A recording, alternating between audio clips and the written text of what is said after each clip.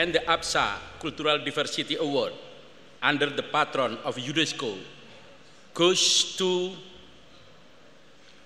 Rona Azim's mother. We Mahmoudi brothers are honored to receive this award. Thank you, members of the jury and the Asia Pacific Screen Awards team.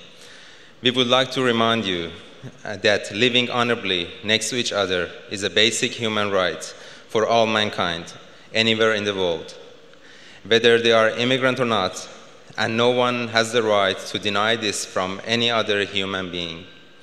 This is especially true for immigrants who have lost everything to the fear of war and an uncertain future, but love grows in their heart.